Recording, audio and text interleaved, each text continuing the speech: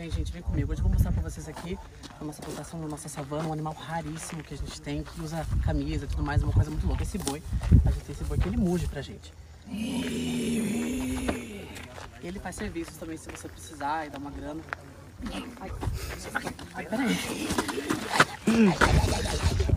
Deus sabe.